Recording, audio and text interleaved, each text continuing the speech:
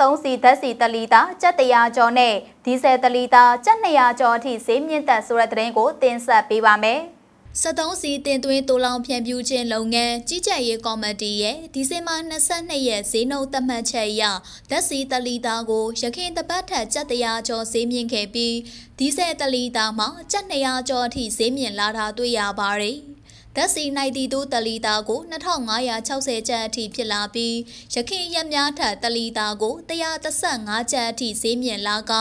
ရခင်ဈေးငိန်ခဲ့တဲ့ဒီဇယ်ဈေးနှုန်းကလည်းတလီတာကို2430ကျပ်အထိဖြစ်လာတဲ့အတွက်ရခင်ရက်များထက်တလီတာကို225ကျပ်အထိဈေးမြင့်လာတာတွေ့ရပါတယ်။ ပြည်တွင်း73စီဈေးကွက်အနေထားအရပြီးခဲ့တဲ့နိုဝင်ဘာလနောက်ဆုံးပတ်မှာဓာတ်စီတလီတာကို2180ကျပ်ရှိရာကနေဒီဇင်ဘာလတရက်ကစပြီးဓာတ်စီတလီတာကို2530ကျပ်ထိဈေးထိုးတက်ခဲ့တဲ့အတွက်ကျပ်300ကျော်အထိဈေးမြင့်ခဲ့ပြီးဒီဇယ်ဈေးနှုန်းကတော့အနည်းငယ်သာဈေးရပြောင်းလဲဖြစ်ခဲ့ပါတယ်။ ယခု73စီဓာတ်စီတလီတာကို2560ကျပ်အထိဈေးမြင့်လာတဲ့အတွက်ရခိုင်ဒီဇင်ဘာလစမ်းပိုင်းကဖြစ်ပေါ်ခဲ့တဲ့ဈေးနှုန်းထက်ဈေးပိုများလာတယ်လို့73စီရဲ့ရောင်းဝယ်ပြုလုပ်သူတွေထံကသိရပါတယ်။မကြာခင်မှာအစိုးရရုပ်ပိတ်ရက်တွေလာတော့မှဖြစ်တဲ့အတွက်ခရီးသွားလာမှုများလာက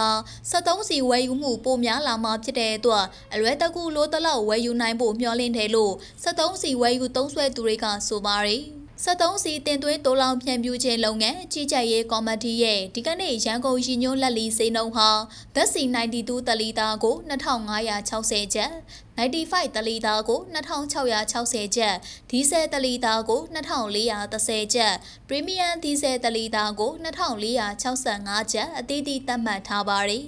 အလားတူပဲမန္တလေးရှိညွန်းလက်လီဈေးနှုန်းတွေအနေနဲ့ဓာတ်စီ92တလီတာကို2630ကျပ်95တလီတာကို2930ကျပ်ဒီဇယ်တလီတာကို2460ကျပ်ပရီမီယံဒီဇယ်တလီတာကို2535ကျပ်သတ်မှတ်ထားပါတယ် နေပြည်တော်အပါအဝင်အခြားတိုင်းနယ်ပြည်နယ်တွေရဲ့အတွင်းမှာတော့73စီဈေးနှုန်းတွေဟာရန်ကုန်နဲ့မန္တလေးမြို့တို့ထက်ကျပ်90ကျော်ကနေကျပ်100ဝန်းကျင်အထိပုံမှန်ကွာခြားနေတာဖြစ်ပါတယ်။73စီတင်သွင်းတိုးလောင်ဖြန့်ဖြူးခြင်းလုပ်ငန်းကြီးကြပ်ရေးကော်မတီရဲ့အသိပေးချက်မှာယနေ့ဈေးနှုန်းတွေဟာ MOPS ဈေးနှုန်းအပေါ်မှာအခြေခံတွက်ချက်ထားခြင်းဖြစ်တာကြောင့်ဈေးနှုန်းအပြောင်းလဲရှိနိုင်တယ်လို့အသိပေးထုတ်ပြန်ထားပါတယ်ရှင်။